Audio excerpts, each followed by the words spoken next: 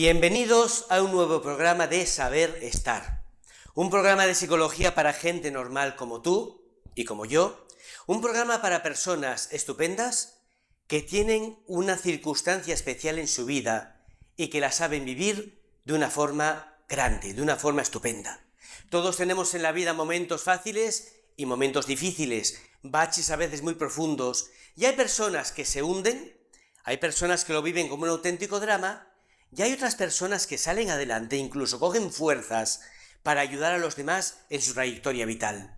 Hoy tenemos una de esas personas luchadoras, aguerridas, grandes, una persona que transmite energía, que transmite entusiasmo, que transmite ganas de vivir, una persona que me consta es el centro de ayuda para muchísimas otras personas que acuden a ella a contarle lo que les pasa porque saben que siempre van a encontrar una solución a cualquier tipo de problema que puedan tener.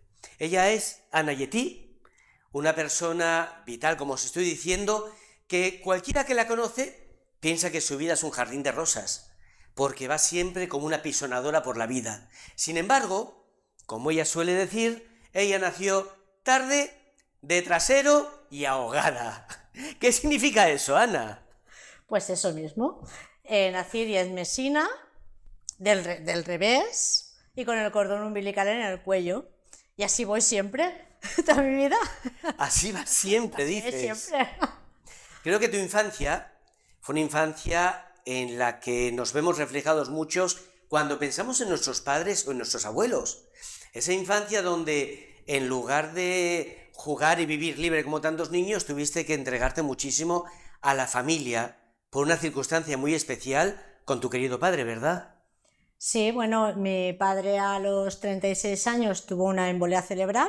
¿Qué años tenías tú, Ana? Yo tenía 9, iba a cumplir 10 y mi hermano tenía 3, que en octubre cumplía 4. Una embolia cerebral. Una embolia cerebral, una trombosis, que se dice vul- mm, vulgarmente. Y entonces, pues claro, mi madre se tuvo que um, buscar la vida, ponerse a trabajar. eh, um, nosotros nos fuimos a vivir uh, un tiempo con mis, abuelos maternos, porque mi padre, que, pues no sé, quedó en coma, y hasta que salió del coma, empezó a recuperarse, empezó a, saber quién éramos, defenderse un poco, pues estuvimos en casa de, mis abuelos. Mi madre se fue a trabajar, empezó la mujer pues a sacarnos adelante como pudo y eh, claro, me vi con, pues, con un niño de cuatro años y una cría que era yo de diez. Y para una niña de 10 años, cuidar a alguien de 4, ¿qué significa, Ana? Pues significa pues eh, empezar a tener responsabilidades que no son propias de tu edad. Yo estaba muy acostumbrada a jugar mucho con mi padre, a jugar con mis amigos del- de la calle.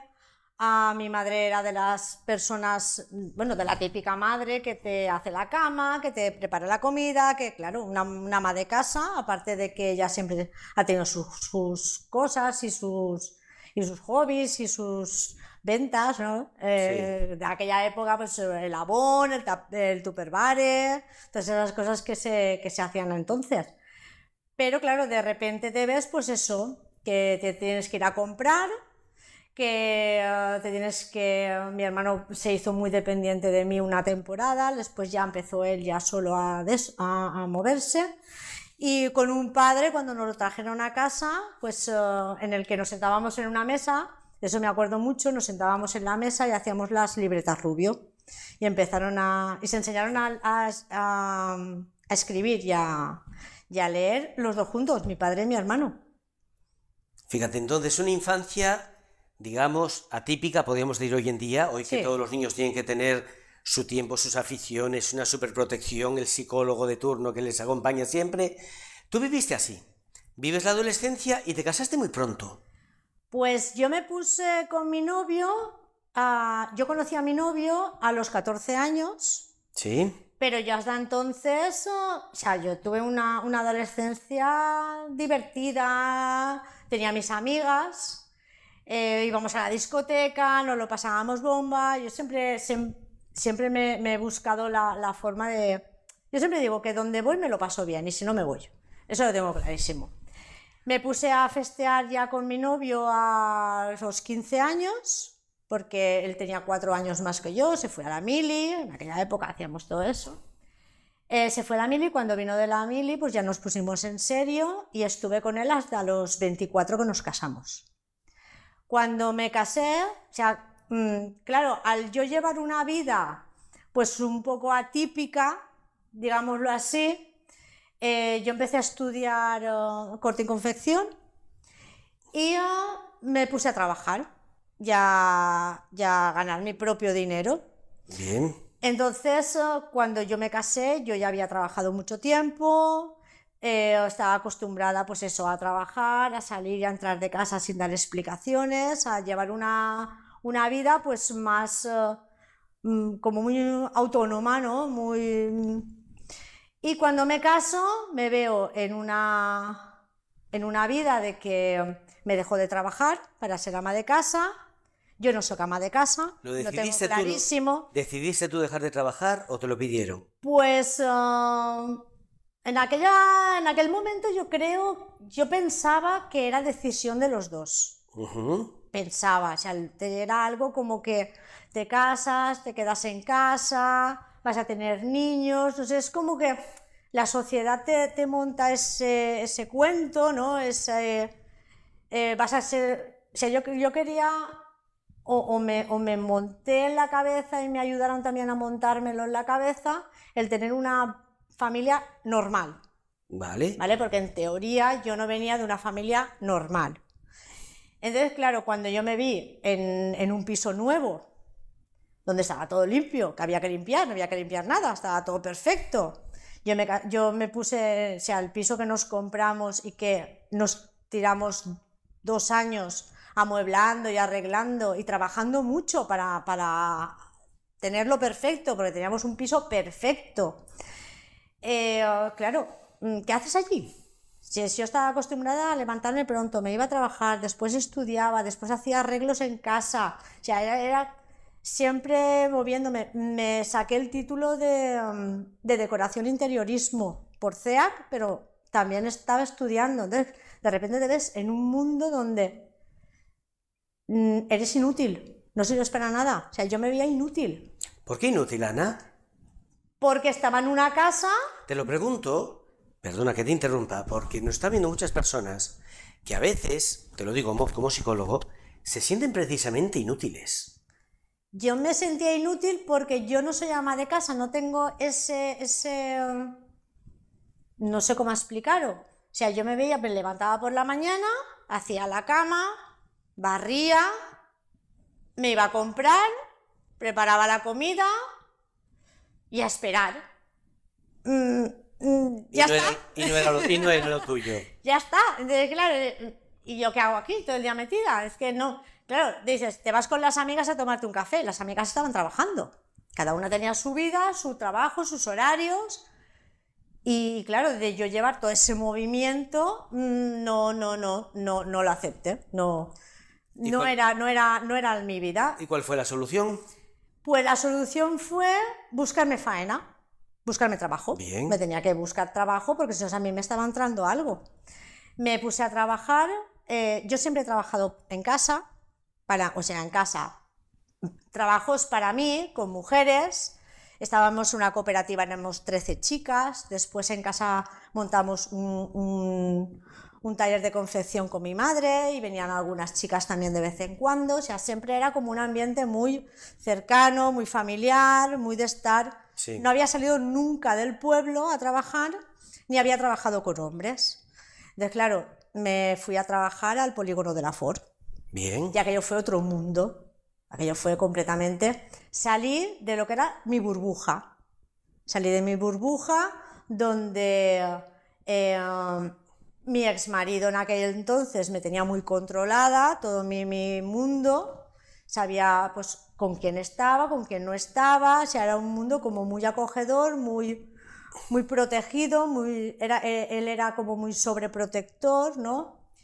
Y claro, de repente salgo de ahí y ya soy Ana en todos los sitios, donde voy soy Ana. empiezo a moverme en otro ambiente, conozco gente de fuera, coge el coche todo todos Bien. los días para salir, para entrar, esto, lo otro, horarios, horarios diferentes. Pero a ti es lo que te gusta, estar en movimiento. Claro, claro. ¿Dónde está el problema? Pues ahí disfrutaba, yo me lo pasaba bomba. Bien. Yo, eh, cuando me decía, horas extras, yo, me quedo yo. O sea, A ver, esto es un programa de personas. en casa otra vez, "Uah, ¿qué hago en casa? Metida. Este es un programa para personas que han tenido alguna dificultad grande. Tú has tenido esa dificultad en la niñez y en la adolescencia, tener que vivir volcada para tu familia. Pero ahora eres feliz. Sí, ahora sí. ¿Dónde llegó el bache? El bache en aquella época, Sí. pues llegó en eso, en la libertad que yo cogí.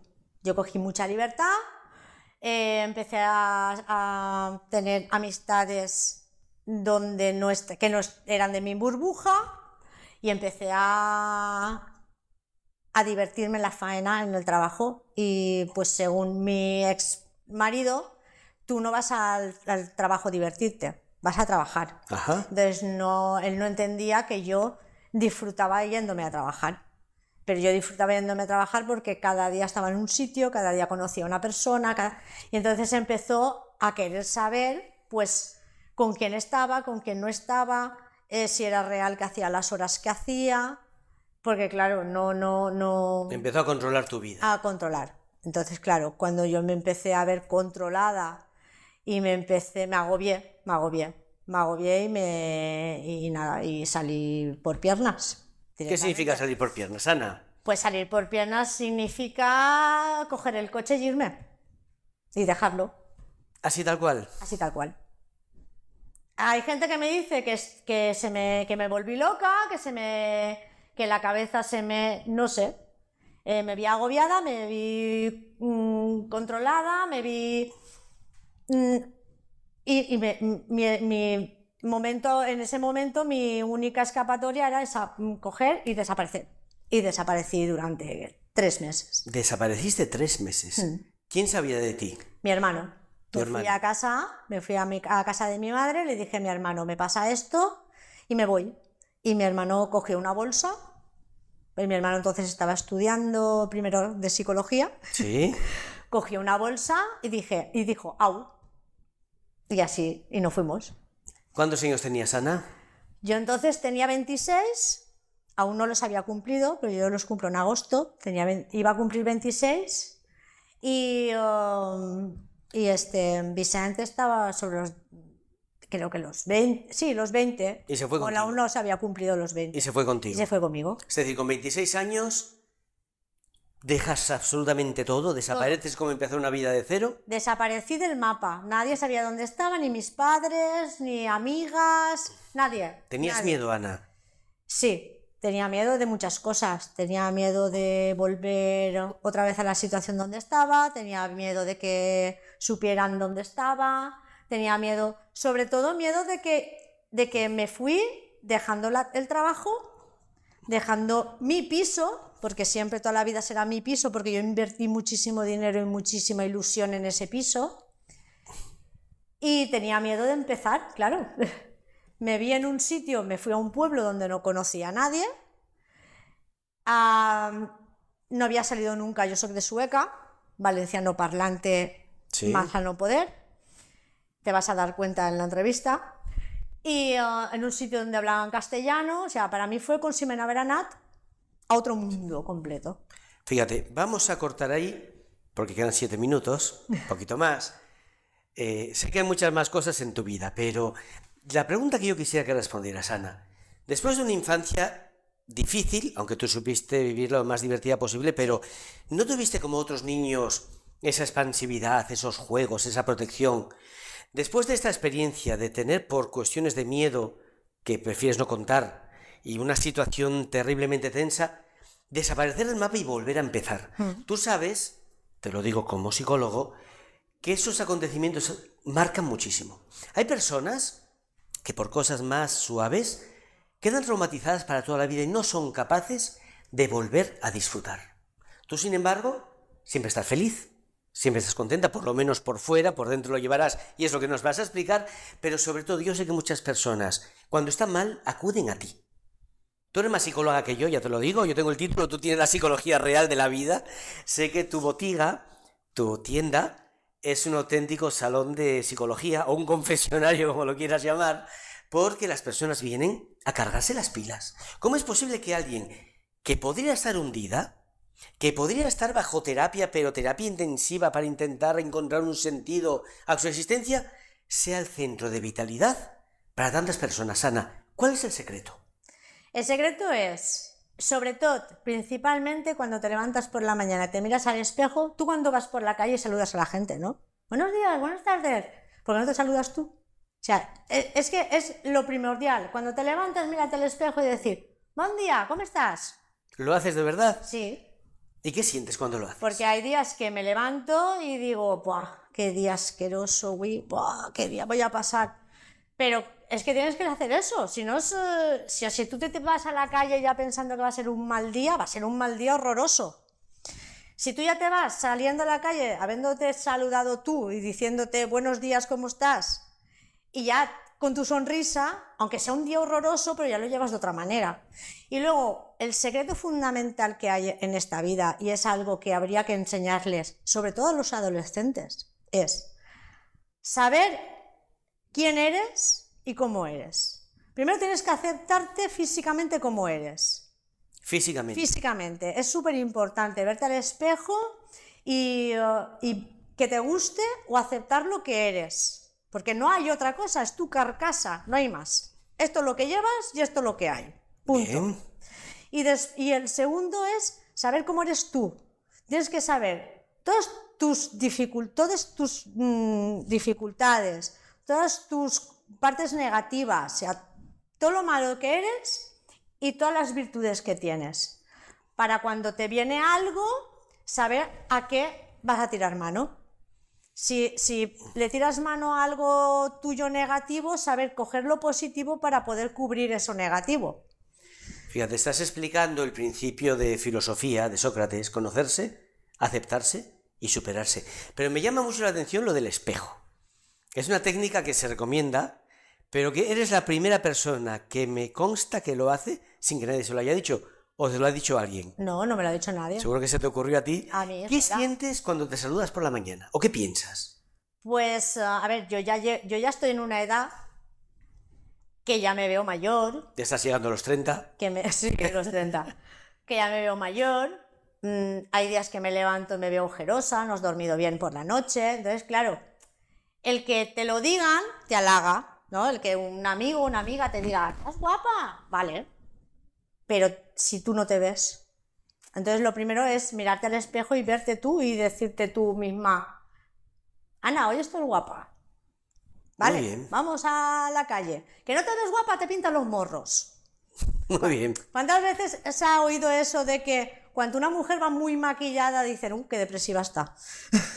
Sí, sí, tal cual. ¿Eh? No, es así. Cuando estás bien, estás tranquila y estás a gusto, no te falta nada, no te hace falta ni pintarte ni nada, porque ya, ya llevas eso tú ya Sí. contigo misma. Y en el atelier muchas veces me pasa eso. Muchas veces hay mujeres que yo siempre lo digo que cuando van en bragas y sujetador son vulnerables y entonces si te dicen, ay, es que la barriga, es que no sé qué.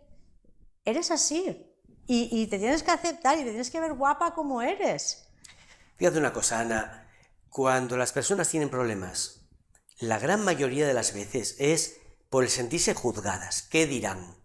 Ese que dirán que en realidad muchas veces, cuando te pones a profundizar con las personas, ese que dirán, en el fondo son dos, máximo tres personas que las tienen clavadas en la cabeza, que son como dos jueces que le han estado criticando, que les han estado machacando.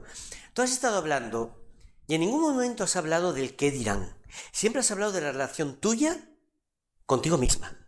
Explícanos un poquito eso. Explícalo, perdona, ¿eh? Explícalo de cara a las personas que te están escuchando y que muchas veces sienten ese hundimiento, esa frustración, porque piensan que los demás los ven de no sé qué manera. ¿Qué les dirías? Pues lo primero que tienen que hacer es quitárselos de encima. O sea, quitárselos de encima quiero decir, eh, todos, todos, todos hemos pasado por un momento en el que piensas más en qué van a decir, cómo me van a ver, qué es lo que... Y tienes que llegar a un momento en el que tú te tienes que centrar y tienes que ser radical contigo misma y decir, ¿y a mí qué me importa cómo me vean los demás? ¿A mí qué me importa? Yo, por ejemplo, era una persona eh, que llevaba el pelo largo, perfecto, era marrones, grises, muy arreglada siempre, mm, a los eventos maquillada. Y siempre- presumida, que yo sé que lo eras. presumida. ¿Y tenías de qué? Llega un momento en el que digo, se acabó.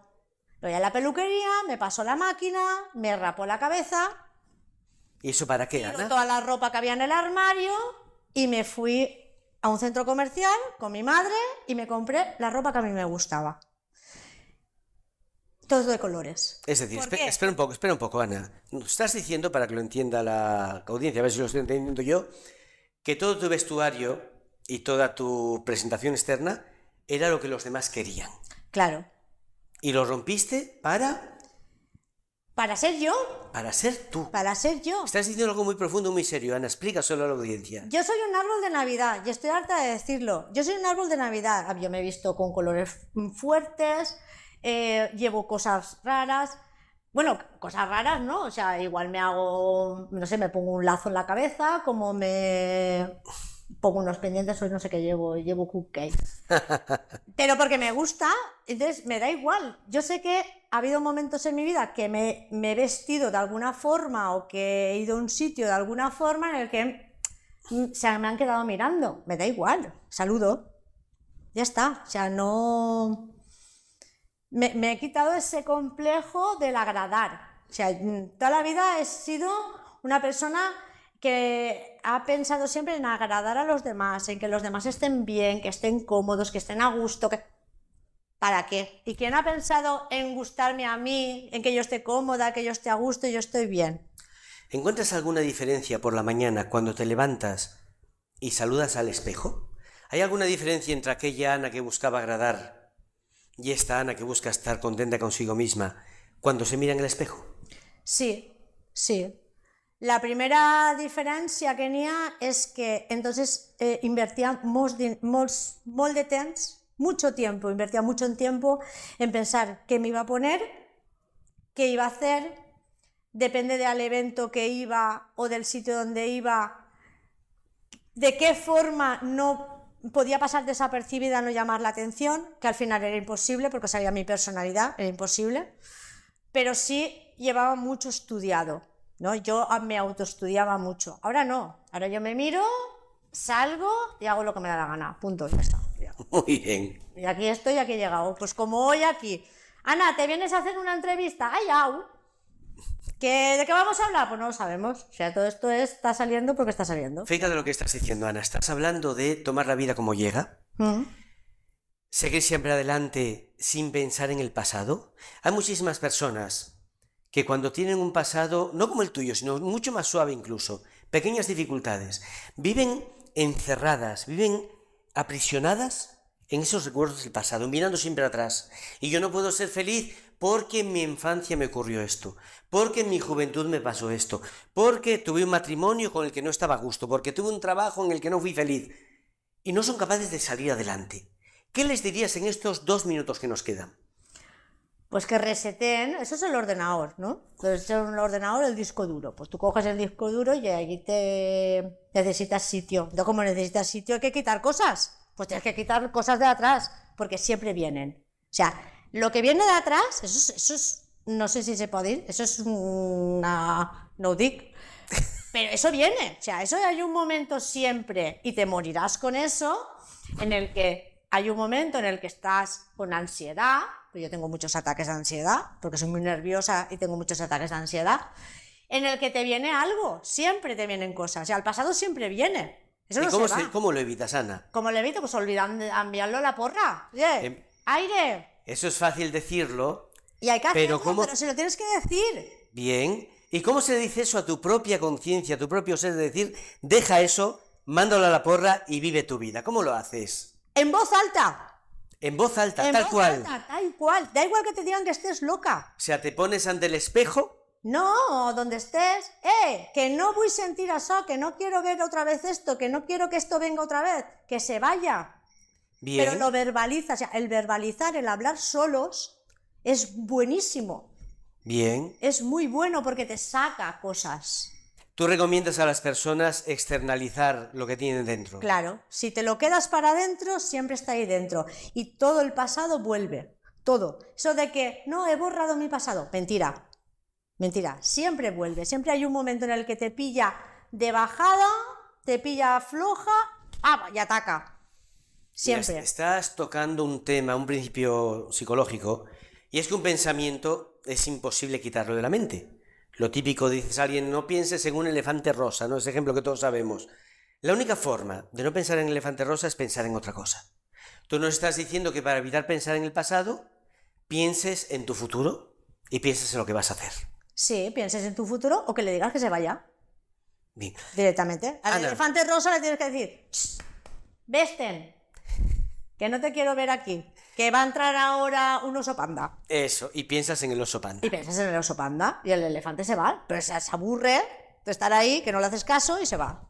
Ahora mismo hay una persona que nos está viendo, una, o a lo mejor hay muchas, piensan una que no sabe qué hacer con su vida, que está desanimado, piensa que la vida no vale la pena y le gustaría ser como tú. O le digo como tú pensando en alguna persona que ella conoce y que está diciendo esa persona siempre está con ganas, siempre está con fuerzas. ¿Qué tendría que hacer? ¿Qué le recomendarías? Pues uh, primero vivir el presente y el ir uh, marcándote metas pequeñitas, de un día para otro. Eso de que hacíamos, de que hacía yo antes, de todo el mes programado, eso es una locura, eso acabas loco como una cabra. No. Ciérralo en una frase, Ana. Vivir el presente.